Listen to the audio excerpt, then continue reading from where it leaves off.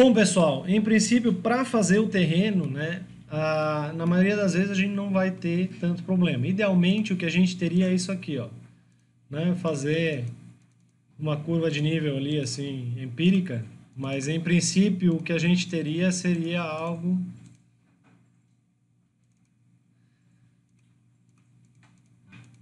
relativamente simples, né?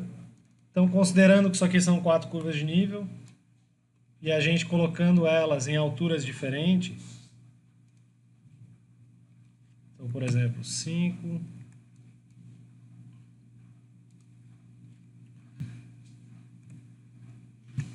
cinco,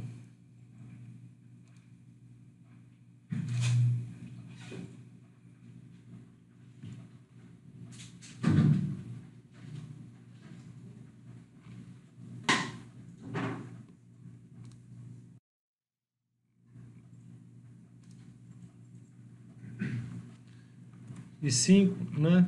Então, assim, ó, olhando as alturas, né? Estão com alturas diferentes, são linhas normais. Em princípio, a gente deveria conseguir fazer isso aqui, transformar isso aqui num terreno, simplesmente utilizando o loft, tá? Então, LO, seleciona uma linha Enter, segunda linha Enter, ele faz o perfil aqui, ó, que é uma sequência. Quando a gente vai selecionar, essas linhazinhas aqui estão apagadas, né? Já estão ocultas para não ficar um monte de linha no terreno, mas ele fez uma triangulação entre as duas linhas para fazer essa superfície. E a, a criação de uma curva de nível, quando tudo funciona da maneira como deveria, Enter, Enter, ele vai fazendo essa junção, né?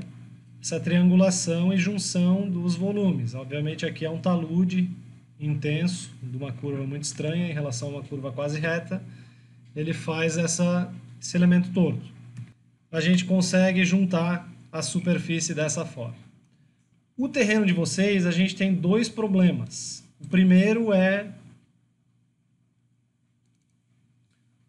o tamanho da área que todos vocês, né, se tentar botar tudo dentro do mesmo elemento, vocês vão estar trabalhando. Então, é, seria um tamanho, mas para pegar todos os grupos seria algo assim, né, que a gente conversou na semana passada.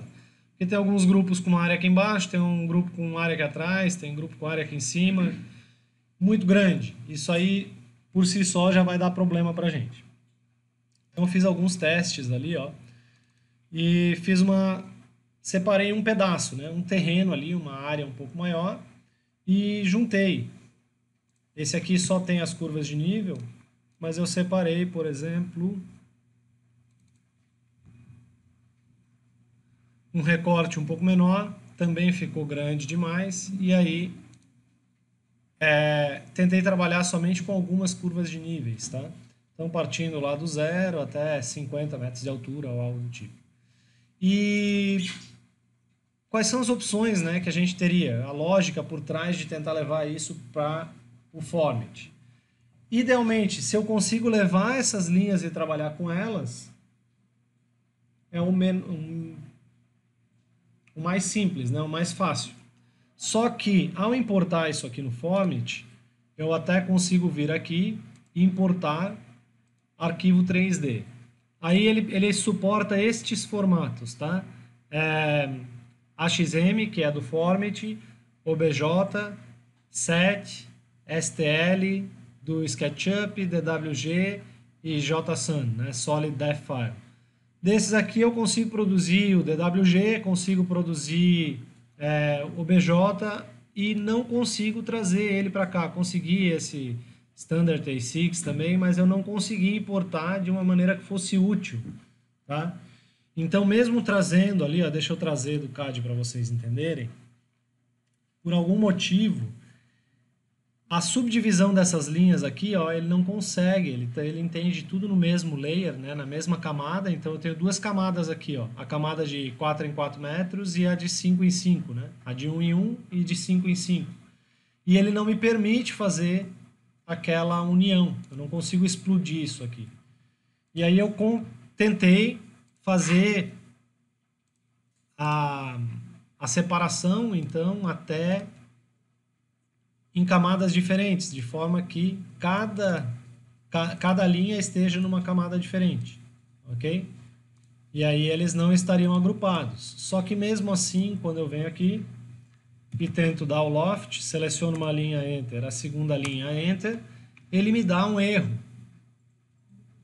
Então eu teria duas possibilidades, né? Por causa da maneira como essa linha foi feita, ele não não consegue entender o dado que está nela para fazer essa junção. Teria duas possibilidades. Eu posso extrudar essas linhas e trazer isso fechado lá do CAD, só que isso gera um arquivo bem pesado, tá? E a segunda opção é utilizar, se possível, né, se disponível, o SketchUp, porque o SketchUp tem essa função aqui, ó, que ele forma o terreno a partir dos contornos. E o SketchUp ele tem um algoritmo que entende melhor, né, ele trabalha, ele consegue trabalhar melhor com esses elementos subdivididos. Então, basicamente, o que eu fiz, eu fui e recortei um pedaço do terreno. Eu não trabalhei com tudo isso aqui, eu fui lá e peguei um pedacinho aqui, ó, se não me engano é esse pedaço aqui. Do 15 ao 40 aqui, ó. Essa área aqui, eliminei o, o as camadas que não são curvas de nível, para ele não ficar tentando ler aquilo lá, né? Tirei então a rua, o cadastro aqui Peguei somente as curvas de nível e trouxe para cá, que é isso aqui, ó, importar. E eu peguei o meu mini teste ali, que é esse recorte do terreno. E aí a, a primeira primeiro cuidado que eu tenho que ter é com as escalas, né? Então assim, qual é a unidade que eu estou trabalhando aqui? No Sketch eu vou checar lá em informação no modelo, estou trabalhando em metros, tá? É importante que o arquivo que está sendo exportado também esteja sendo trabalhado em metros. Isso não significa que o desenho, somente que o desenho tenha que ser pensado em metros. Ó. Se aqui a rua tem 5 metros de largura e não 5 centímetros, eu sei que o desenho foi pensado em metros. Mas o arquivo de vocês tem um problema, que se eu digitar, né, se eu vier aqui nas unidades do desenho, Drawing Units, Units, né, tecla de atalho N, ele estava em milímetros ali, ó, milímetros. Então ele não vai, ele vai ter um erro de escala de mil vezes, né? Então ele vai sair mil vezes menor, porque embora o desenho tenha sido pensado em metros, a unidade do arquivo, que quando eu comunico de um software para o outro é o que ele está entendendo, está em milímetros, ok? Então é só mudar, dar o N aqui no CAD, mudar isso aqui para metros, e as duas coisas estão é, de acordo, né? Tanto a maneira como o desenho foi pensado, quanto a unidade do arquivo estão de acordo. Recortar a área de trabalho de vocês, vocês vão vir aqui e vão fazer um recorte da área de trabalho de vocês.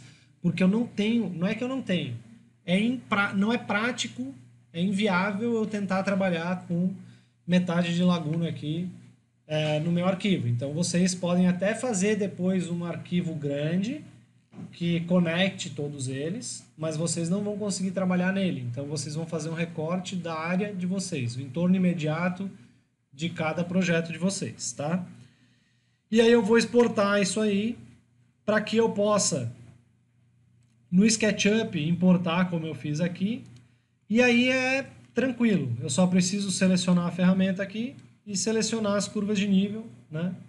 No que eu seleciono a ferramenta, ele deveria estar tá fazendo, tá fazendo cálculo. E ele fez para mim, ó, fez a superfície ali em cima. Pronto, eu salvo esse arquivo como SketchUp mesmo, e esse arquivo eu vou importar lá no Format. Isso aqui vai facilitar muito a vida de vocês, porque daí eu não, não, não preciso ficar lutando com o Format fazendo, né? Cada curva de nível. Isso aqui ele faz num único é, bom, numa única ação ele fez o terreno inteiro. Uma vez que isso aqui está feito, no Format, eu vou vir em importar, importar modelo 3D, e aí eu vou selecionar o meu arquivo do SketchUp. E ele vai trazer, ó, quando eu dou Open, ele trouxe para mim o arquivo. Como é que está esse arquivo? Bom, é exatamente o recorte que eu fiz, está na unidade que eu pedi. Ele vem com um único agrupamento, mas quando eu seleciono aqui, ó, ele criou dois elementos, tá? Ele me traz dois elementos junto. Um elemento que é a superfície topográfica e o outro elemento que são as curvas do CAD que ainda estão ali, tá? Aí vai da maneira como vocês querem trabalhar. Eu poderia entrar dentro desse grupo e separar dentro de dois grupos para poder ocultar uma coisa e mostrar outra, se eu quiser. É, eu posso deletar todas as linhas, se eu quiser, ou eu posso trabalhar com os dois ligados sem, um, sem problema entre um e outro, ok? Esse elemento, aí eu vou poder interagir com ele da maneira que eu precisar, né? Vou poder recortar ele, vou poder... Deixa eu ajustar aqui. Poder fazer as operações booleanas, né? Que a gente tem feito. Em princípio, ele não deveria dar grandes conflitos, tá? Então, por exemplo, né?